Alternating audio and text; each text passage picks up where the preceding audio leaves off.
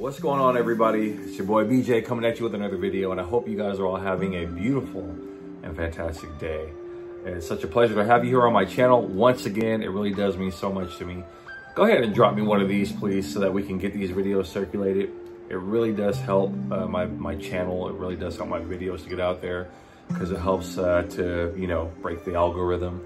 So the more likes I get, uh, the more uh, views I can get as well. So and then I can make more content so that more people are actually seeing it because I have so many videos out, but it doesn't seem like that many people have been seeing them. So uh, it really does help my viewership if you just go ahead and drop me a thumbs up, maybe drop a comment where you're watching from, and uh, it really does help my channel.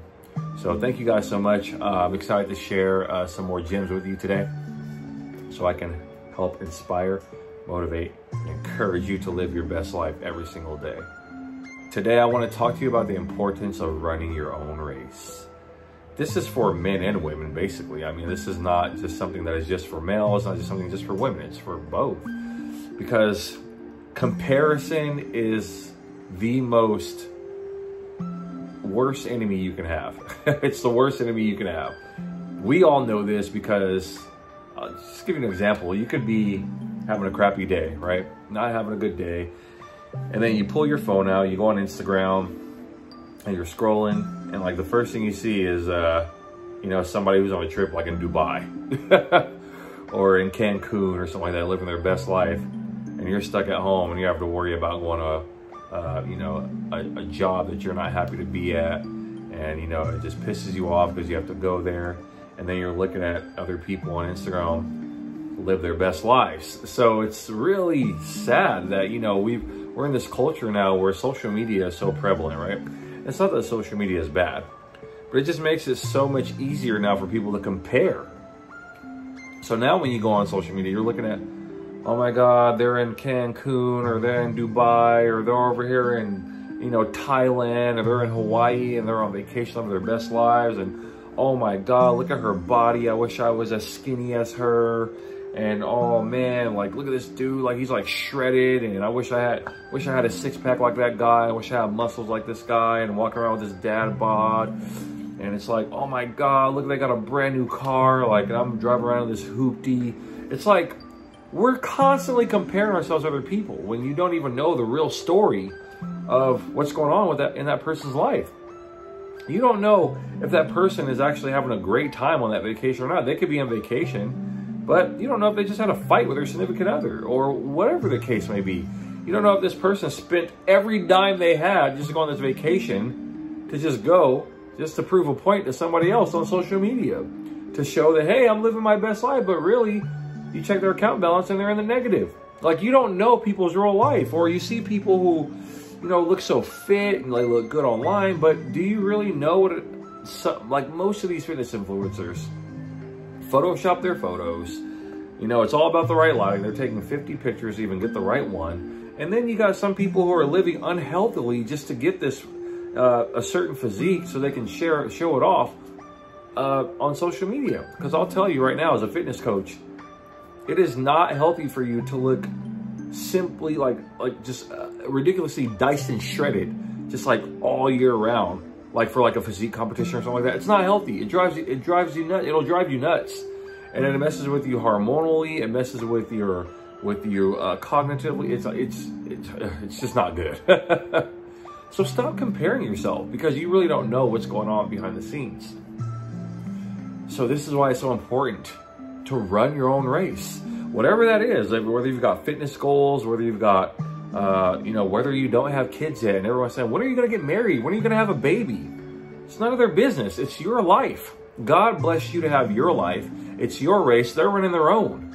So you don't have to worry about what somebody else is saying about your life because it's your life. With fitness, work out, do your thing, stay consistent. You don't have to rush to get these quick results. Usually people get quick results, usually rebound and they gain all the weight back anyway. It's all about long sustaining results, make it a lifestyle focus on your race when it comes to, you know, having children and being married and all that. You know what? You don't want to just rush into a marriage and have kids with someone you don't even like just because your family's pressuring you to get married and have kids. No, run your own race. And when it's time for you to date and you're ready to date and you decide on who it is you want to date, let it go at your, at your own pace. It's your life. So run your own race. Stop focusing on what other people are saying. Don't get distracted by other people's comments. It does not matter. What matters is how you feel because only you have to live in your own skin. Only you get to live in your own body every single day.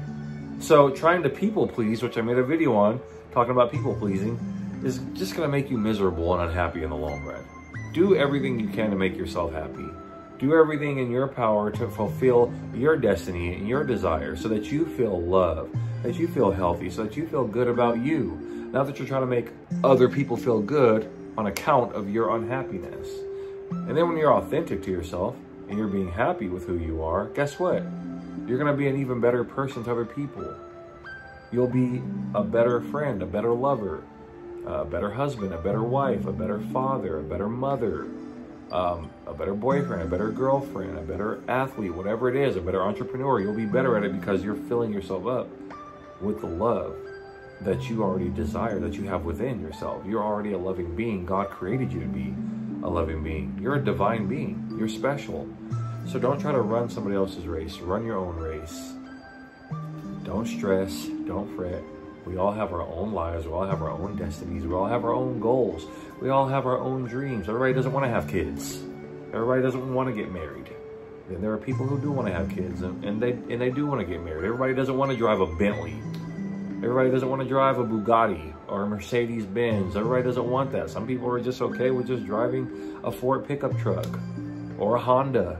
It's everybody has their own life. So run your own race and be happy and embrace who you are and stop trying to run other people's races for them on account of your own life. Thank you guys so much for watching this video. I hope that you really got something out of this. If you haven't done so already, go ahead and drop me one of these. It really does help my channel. Comment down below where you're watching from. You got some insight from this video. And always be sure to hit that bell icon. That way you can be notified whenever I do upload new content to this channel. You don't want to miss out. I'll put some other videos up here for you to go ahead and check out.